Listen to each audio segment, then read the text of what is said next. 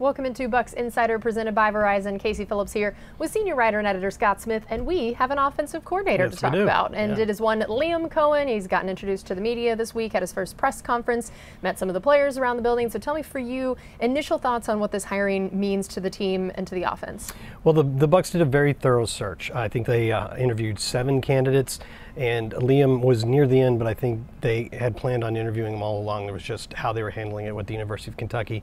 And um, I think they felt he was well coach said he was the best fit for what they wanted to do offensively. So coach bowles and his staff went into this search with an idea of the offensive philosophy that they wanted to follow and they felt that liam was the best choice to probably provide some bit of continuity between what they were doing last year under Dave Canales. A lot of good things, but how do you continue that when you're changing coordinators and changing systems and not starting over from ground zero? And now you have a guy that has a lot of the same sort of background as Dave Canales, working with Sean McVay and the Rams.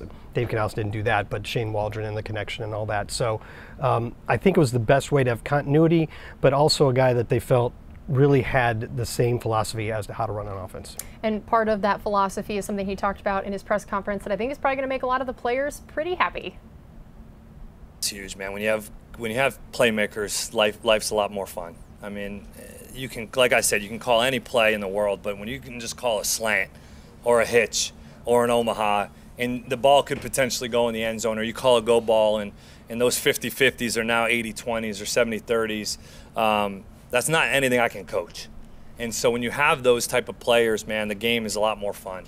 And uh, that's ultimately what football is, right? It's about like it's about players, not plays. But uh, if we can put them in the position to be successful with, with talent, you know, usually good things happen. So I couldn't be more excited to get to work with those guys, man. They seem like really good people and, and workers, just like everybody that I've heard in this building. So uh, really excited to get to work with those guys.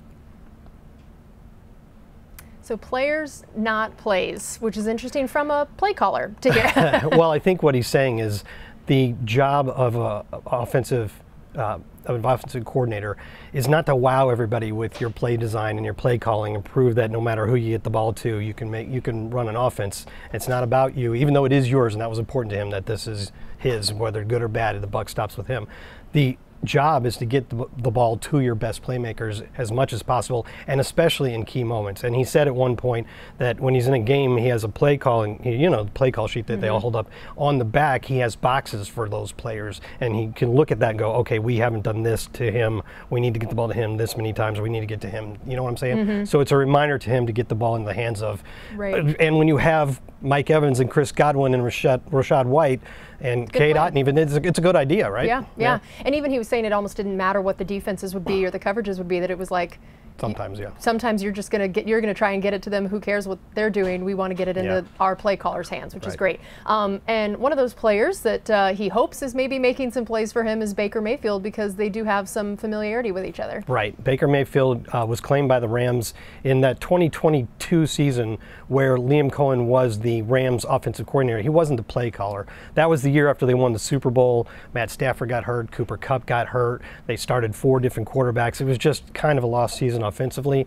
And by the time they claimed Baker off waivers uh, in early December, they weren't having a lot of fun. And, and um, Liam said Baker immediately brought the fun back to the whole team. He brought competitiveness back on the practice field. And those two, in a pretty short amount of time, formed a pretty good relationship. And so Liam coming here, he said it was one of the attractions that he had a shot. Now he's the potential to work with Baker Mayfield because, as we know, uh, he's a pending free agent, so a new contract has to be done before that happens. But I think Liam came here with a optimism that it would happen. And of course, Baker has said on multiple occasions that he likes it here and would like to stay here. So hopefully they can work that out because that was a draw for Liam Coen. Yeah, and then I know, but not only is he going to be planning to put Baker in the best spot, he definitely does still want to continue the emphasis on the run game right. that the team had been working on and the growth in that area. So, what did you hear about how he wants to continue the right. growth there? Well, Dave Canales uh, wanted to have a balanced offense, and to his credit, he did in terms of play calling. The uh, he, he kept it very balanced and he stuck to his word that he would not abandon the run.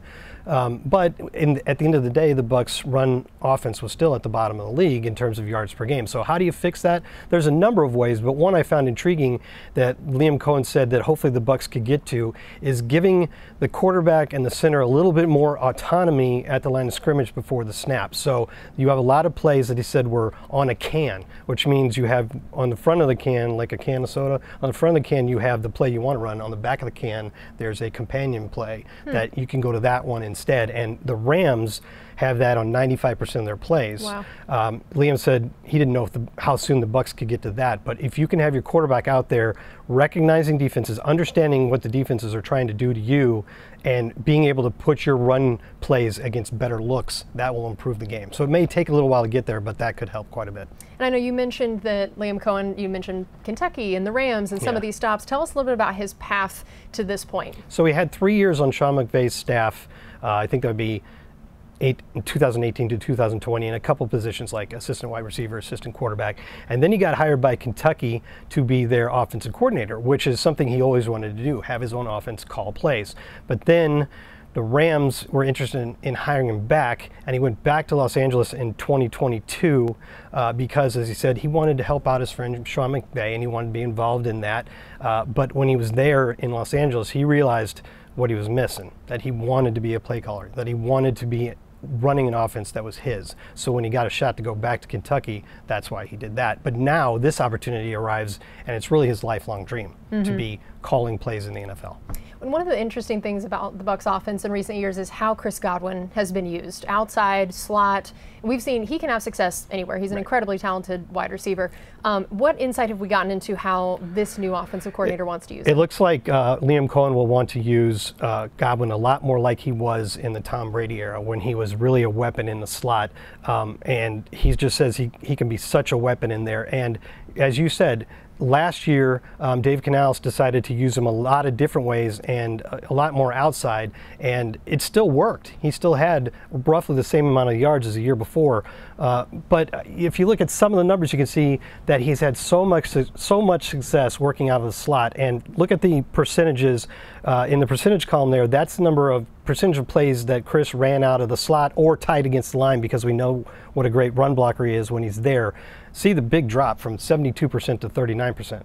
And if you look at it, his catch percentage went way down and his YAC went way down. Now that's a function of the different type of right. plays that you're running. But if you look at that year in 2021, when he caught 70%, I mean, he played 70% in the slot or tight, almost 80 yards per game and 613 YAC, which was among league leaders. That's the kind of thing that Chris Godwin can do. And Liam doesn't have to just guess from looking at a few pieces of tape. He can look at three years and know that this can work. That's going to be interesting. Well, not only did the Bucs hire a new offensive coordinator, but they had a couple guys having fun at the Pro Bowl and making some making some moves at the Pro Bowl. We had uh, we had some stars out there. We had Baker Mayfield and Tristan Wirfs, who of course are just little besties.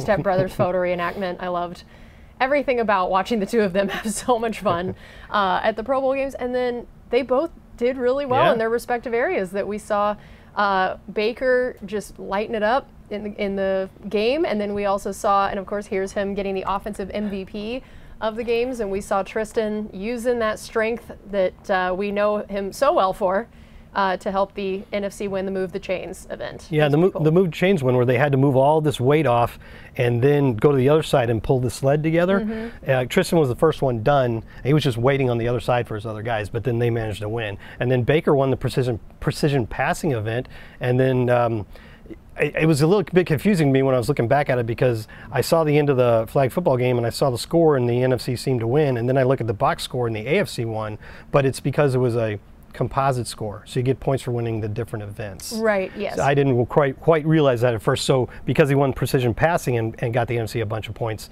and then he had some big touchdown passes in the flag football game, he was the overall, overall MVP, MVP, which, which is, is cool.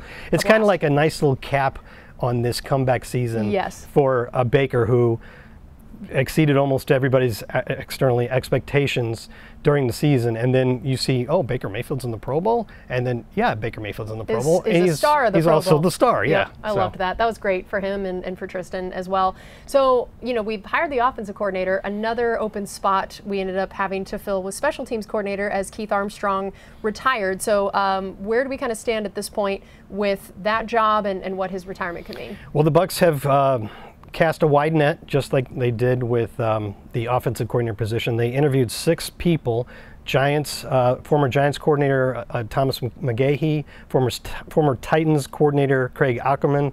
I'm trying to do this from memory. Yes. Uh, Saints assistant um, Phil Galiano, former Seahawks coordinator Larry Izzo, uh, Iowa. the University of Iowa special teams coordinator uh, LeVar Woods, and of course the internal candidate Keith Tandy, who's done good things for the Buccaneers the last four years. Now, um, there are reports that the Buccaneers are close to a decision on that, but we don't have any anything official on that, so we kind of have to stop there. But these are the candidates we've talked about so far. All right, well, that's going to be really interesting to see how that shakes out. Special teams was an interesting group to watch. I mean, Chase McLaughlin had a great year, yeah. and Jake Camarda can punt Huge to the moon, leg, and yeah. so one he's thing coming that, into some talented guys. Yeah, one thing though that Coach Bowles said in his day after the season ended press conference is that we want more out of our return game, mm. and um, Deven Thompkins was like 15th in the NFC or in the NFL in punt return average, so that was fine. But the one thing the Buccaneers haven't had in a very long time is that explosive play on either punts or kickoff returns. You see here, the last kickoff return touchdown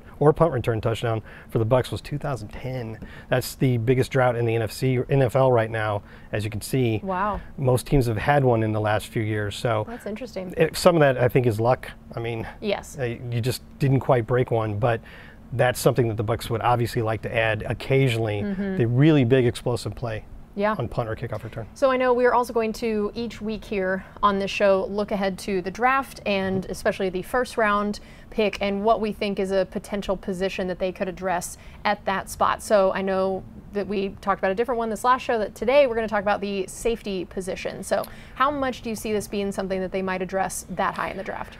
Yeah, I, I don't know first round because um, if you look at the prospects available, the safety position isn't really very top heavy, and there's some other needs that Bucs might address, but maybe early on day two uh, because you really don't have a lot settled there. Um, obviously, you have an all pro, first team all pro. It's a good place to start with Antoine Winfield, but at the other spot, it was really by committee. Uh, we used four different guys at uh, safety, Antoine pretty much played every snap, of course, because you'd never take him off the field. But if you look here, you had Ryan Neal, who was the main starter, but not the entire season. He was good in run support for the most part. Dee Delaney is a ball hawk. That's why they brought in, him in in some plays. Kaevon Merriweather was the undrafted rookie. He's a good tackler out there. And then they even tried Zion McCollum because that allowed them to put their three best cover guys on the field at the same time. But I don't think there's necessarily one answer there. And then if you also look at the fact that the Bucs have to get Winfield under contract. Now, I think that they probably will, but that has to be done. Ryan Neal's contract is up, Dee Delaney's contract is up, and Zion McCollum is likely to spend most of next year at cornerback. So you could really use another, you know, impact player and guy that can play every down in safety, I think. All right, well, that is going to do it for us on this edition of Bucs Insider presented by Verizon. Stay tuned for all of the coverage of our new offensive coordinator and some of the other positions the Bucs are still looking to fill on Buccaneers.com. Thank you.